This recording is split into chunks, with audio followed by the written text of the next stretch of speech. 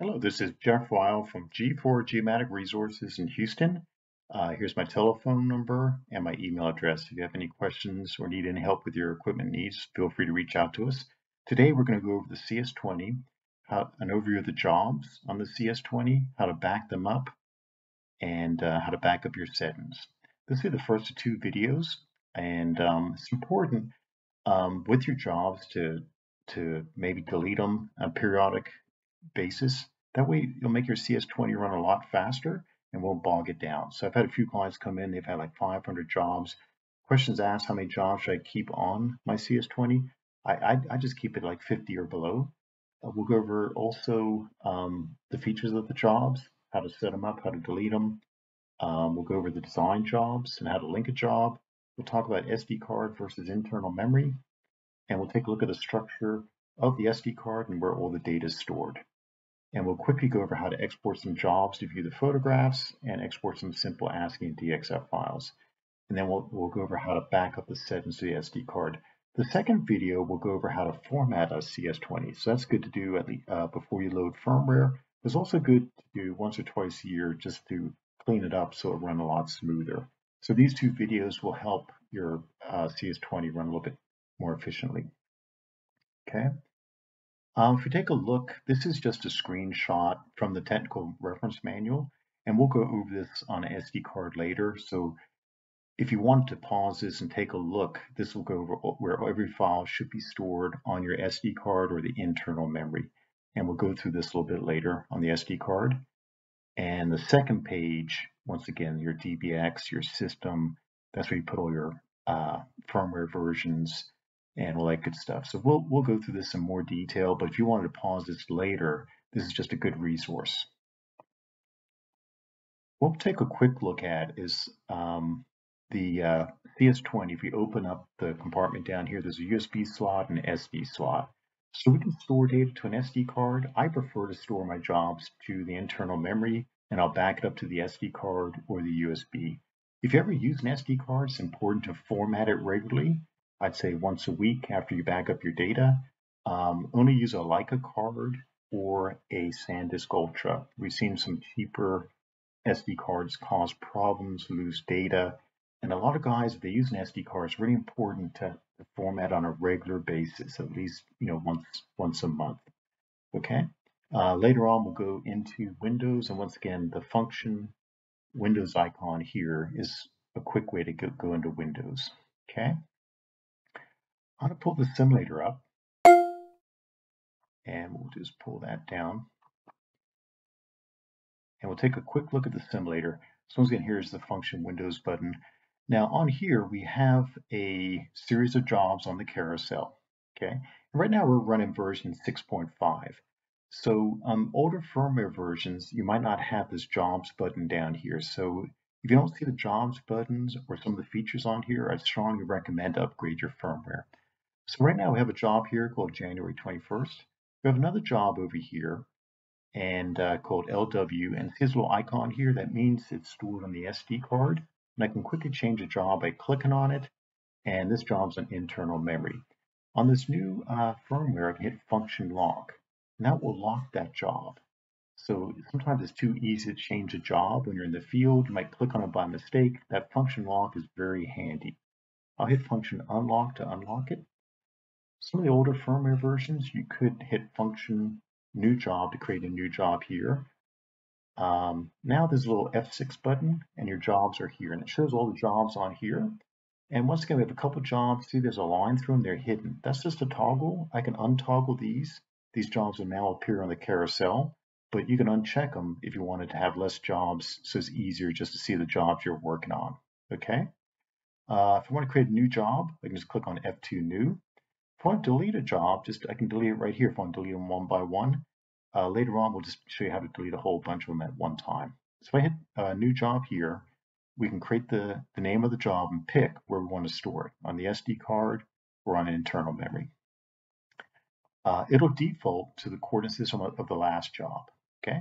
So right now I've got Texas Central, or I can pick Texas South Central.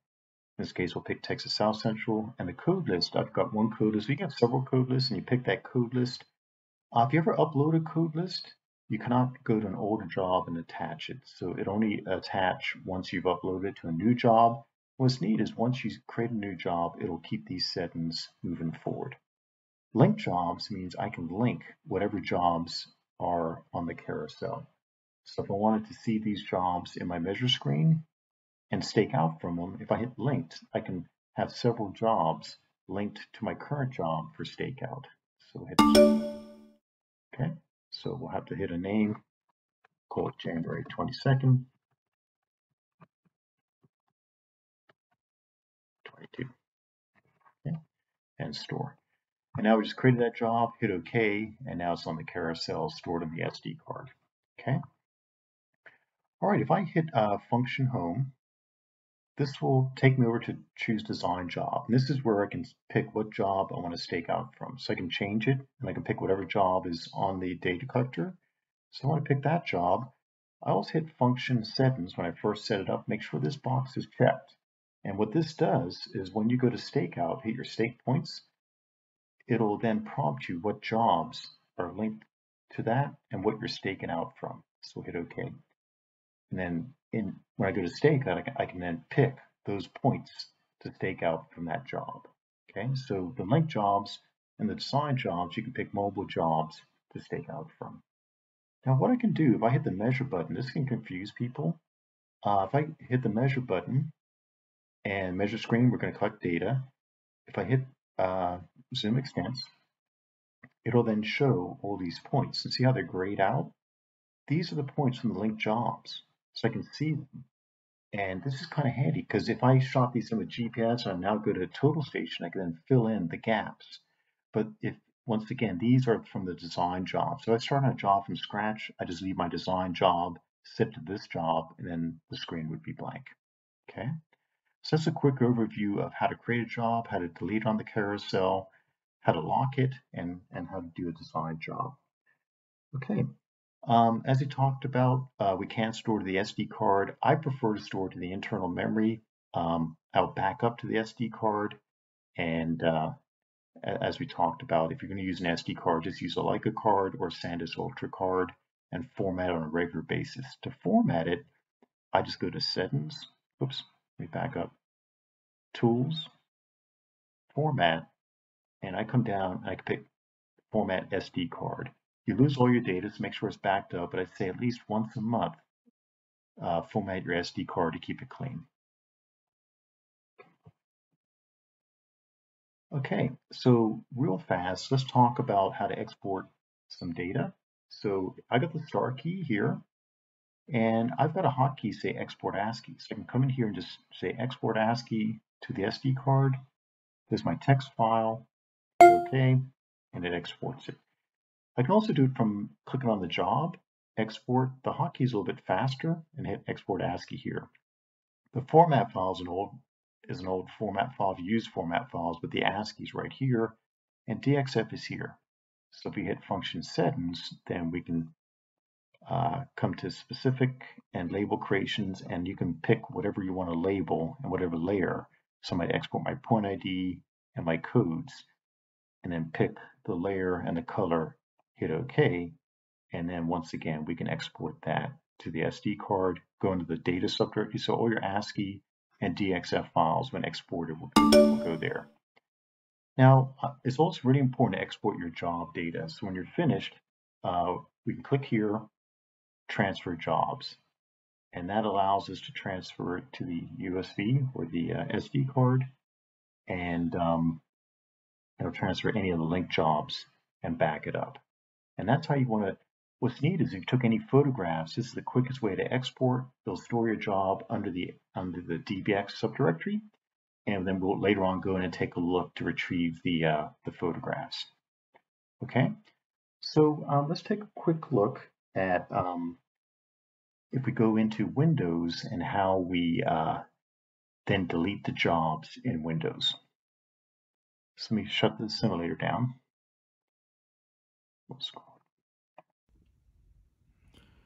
Okay, when we're in Windows, um, on top here's my device. And if I go to Leica Geosystems, and then Leica Captivate, you'll see a bunch of subjects on the internal memory. DBX is where all the jobs are stored. Data is where all the uh, export, like DXF and text files are.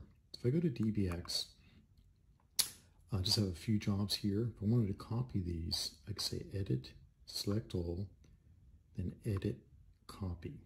Now we just have one job. I'll exit back and then go to the SD card or USB. And then I can go down to DBX and then hold it down and hit paste. And that will then copy that job um, and back it up to the SD card.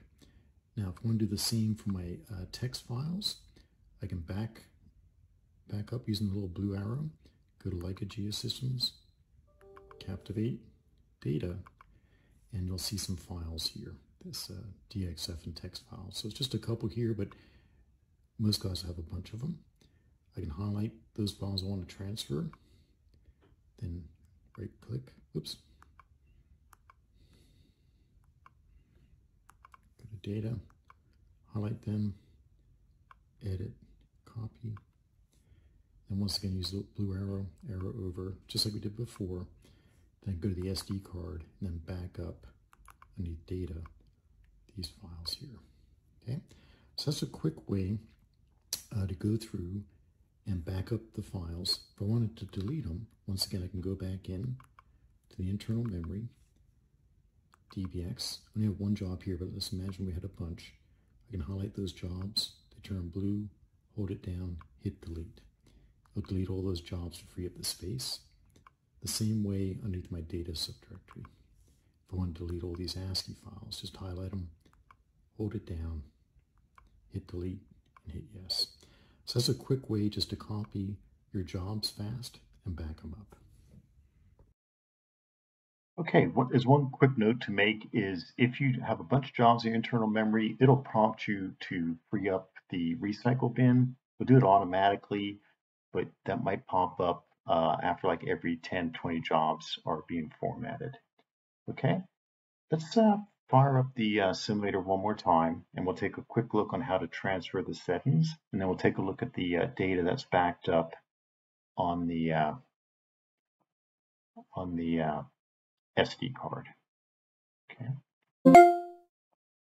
So once again, we'll come down here. If I was going to back up all my, let's say everything was set up perfectly um, the way I wanted, I'd hit Settings, Tools, Transfer Objects, then I could transfer all objects from internal memory to the SD card. If I had a bunch of jobs, I could then check that and then hit OK. All right, and then it'll ask you want to overwrite, overwrite all the stuff that's already on there. Okay, and that's a quick way to back up all your settings. You can back up your jobs as well. If you have a whole bunch of jobs, that might take a while. That's why we went over how to go to Windows to copy a whole bunch of jobs. If you have less than 50 jobs, then you can do it that way. If you've got a whole bunch of jobs in internal memory, uh, please use the Windows subdirectory. Now what we'll do is I'll click on Windows. Um, we have a, a subdirectory here uh, just of the SD card. So you can see here, here's the SD card, and here's the subdirectories right here. So code, that would be where my code lists are. So I open this up, this shows all the code lists. I've got several code lists here, and, and I could transfer, using the tool settings transfer, these code lists that are created. You can see that each one has uh, three proprietary files. That's normal, okay? So we'll back back up, uh, config.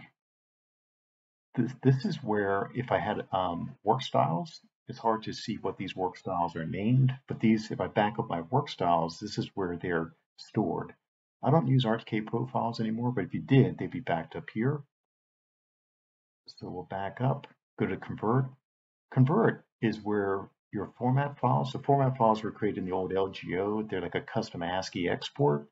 Um, so you have ones that are created. We can put them in here, transfer them up, and here's the style sheet. And they go into the convert subdirectory. We'll back up one more. Data, we exported any DXFs to the SD card or or ASCII files, they're, they're all stored under the data subdirectory. Under GPS, geoid, that's where the geoid models are put if you want to transfer them up to the uh, CS20. So in this case, we transfer GS18, or yeah, the, the Geoid 18, sorry, and the, the 12B. CSCS stands for Country Specific Coordinate System. And for NAD 27, we can put the uh, NADCON file there, okay? And that's attached to convert to NAD 27. So that's what, what the data subject has. It's kind of confusing because DBX, that's where all our jobs are. Okay, so these are the jobs we transferred. This TRF.DAS is our coordinate system. So I have the whole of the Texas state plane coordinate system here. This is a quick way to go find your uh, photographs. So if I open this job up, these are the proprietary files that are imported into LGO or into Infinity. There's a subject called images. And you'll see here, all the pictures that were taken in the field is really neat. They link it to a job as image one. And that one is the point number. So three, that's point number three, point number one, time and date stamp. So it's shot on June 11th, and there's there's the time. So I double click here, that shows what picture was taken in the field, and I can quickly access that. Okay, so that's real handy. And point number five, we shot in control point number five. So I just want to show you how you can quickly uh, retrieve your photographs by transferring the job to the DBX. Uh, under GPS, we'll ignore that.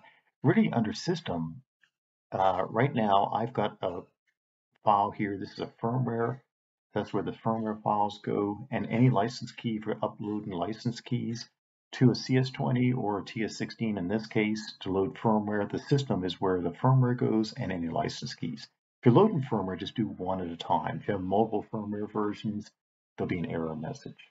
So that's a quick overview of the data structure of the SD card. You know, what files go where can be a little bit confusing because data is just for the ASCII files DBX the raw job file. So some guys get that confused. So DBX stands for Database Exchange. So that's a quick video on just how to delete your jobs, uh, where all the data files are stored, and uh, we'll do another one on formatting the CS20 to make it run faster. So it's really important just, you know, I'd say get in the habit at least once a month of deleting your jobs, freeing them up after you back them up. Uh, some guys will do it once a week. So I hope you found that beneficial and uh, have a great day.